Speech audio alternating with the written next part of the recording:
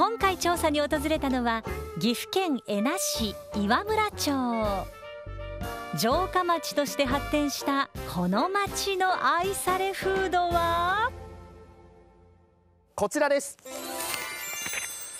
カステーラ。カステラというと長崎県を思い浮かべますが。カステーラってこう伸ばしてるあたりで見るとなんか普通のカステラよりもこうブワーッとこう横に長い1メーターくらいのカステラカステーラ。どうなんでしょうね。まあ皆さんに聞いてみましょう。CBC テレビの「ちゃんと」という番組なんですけれどもカステーラ。見せる前からカステーラ。正解です。いや岩村は今100%くらい知ってるんじゃないですか僕県外からの移住者なんですけど、この岩村の地元っていうとカステラなんで食感が全然違うので僕は岩村のカステラの方が好きですね。長崎のカステラって見たことないか やっぱり岩村のカステーラしか食べたことない。そうそうカステラも。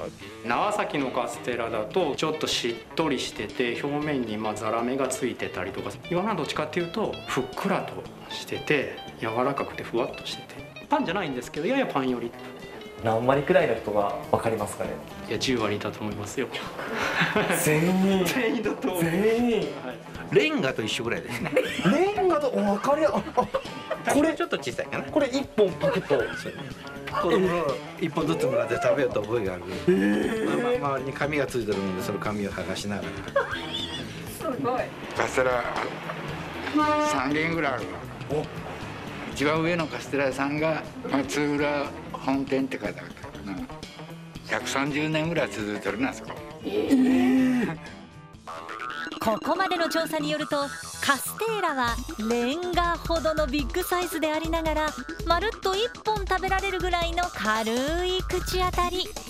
岩村城市から一番近い松浦県本店というお店が最も歴史があるとおすすめされました。あありました。カステーラってなってますね。松浦県本店。立派な店構え。岩村城市からほど近くにある松浦県本店は江戸時代創業の老舗和菓子店。地元での認知度100%岩村町の愛されフードカステーラとは？え？これが岩村町のカステーラですか？そうです。こちらが恵那市岩村町の愛されフードカステーラ。全面にこんがりと焼き目のついたあまりお目にかかれないタイプのカステラです。見た目が自分の知っているカステラよりもちょっとこうパンっぽくて生地がふわっとしてるように触った感じふかふかですね。でもなんか普通のカステラよりも少し軽い気がします。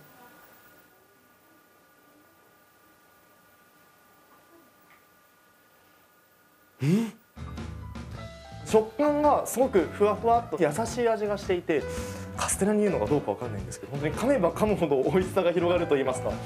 どんどん持ってきますからたくさん食べてカステラの代表格長崎カステラと比べるとその差は歴然。ふんわりとパンに近い食感を持つカステラには長崎カステラに使われる水飴は入っていません。水分量の多い水飴ではなく蜂蜜を入れるのがふんわりの秘訣。それを石臼で時間をかけて混ぜるとまるでホイップのような仕上がりに。この生地が他のカステラにはないふわふわ食感を生んでいます。そしてもう一つ一般的なカステラと違うのはこっち焦げ目があってこっち全く焦げ目っぽくない。これ周りの色の違いこれ分かります？これちょっとびっくりですねこれ。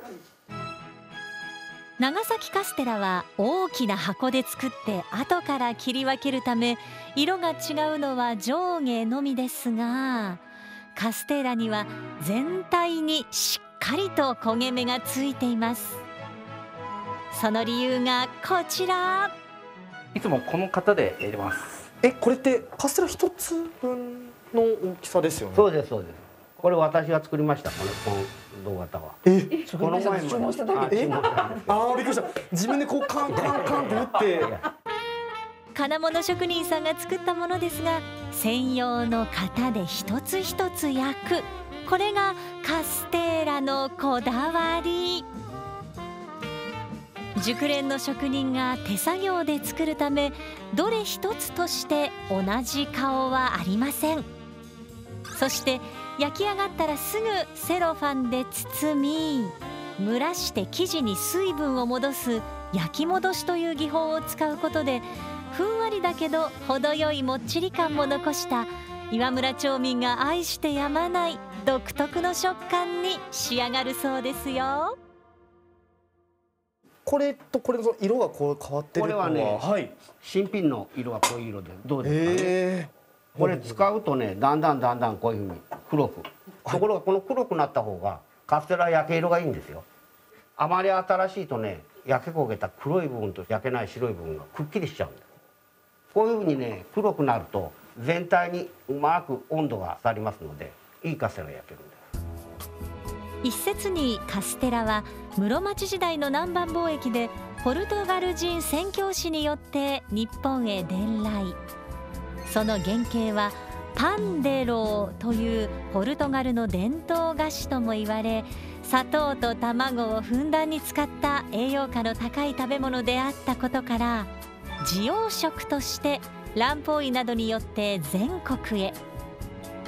遠く離れた岩村町にもその製法が伝わりました。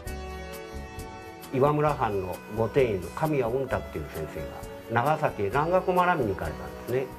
その時にカステラを食べられてこれは需要分があると。ほんでその時私どもの先祖が菓子屋をやっておりまして殿様用にこのカステラというものをお前のうちで作ってくれということを頼まれましてでレシピ作り方を教えていただいてで作り始めたのが始まりです。じゃあカステーラっていうのはもう230年近くそうです。昔歴史があるんですね、はいはい。え明治以降長崎では水飴を使った長崎カステラとして製法を独自に進化させそれが全国的に普及。しかし松浦県本店では伝えられた当時のまま230年後の現在に至るまでその製法を忠実に守ってきたため今では日本におけるカステラのルーツそのものという声も。下に炭火を置いて上にもこの炭火を乗せて昔は焼いとったみたい。ー、ほう。私の先代まではそうやって焼いとったって聞いております。で今ではねもうこの作り方をしておるお菓子屋さんなくなっちゃったんですこのポルトガルから入ってきたままの作り方これを守っておるのはうちだけになってしまったんですこの作り方を守るようにということで代々作り続けておるんです。心に決めてやったのは記録に残すということですね。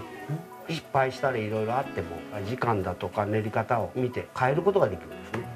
だからもう私も息子にもとにかく作る時には記録をせよということをいつも話しておるんですけど。うまくいかないとどうしても300本焼いても60本ぐらい売れない商品ができてしまうという時もありますので非単位で記録を取ってお菓子作りは科学全て。すごい名言が息子さんがすごいおっしゃってましたけどいいこと言ったっていう。私も安心しました。去年待望のお孫さん大地くんも生まれ230年愛されるカステーラをさらに未来へとつなぐべく8代目が大奮闘中近所のおばさんやだからカステラ屋さんになるんだよなんてずっと言われててみんな結構大ちゃんって呼んでくれますね。九代目かどっち九代目。九もう9代目の大地くん継ぐ？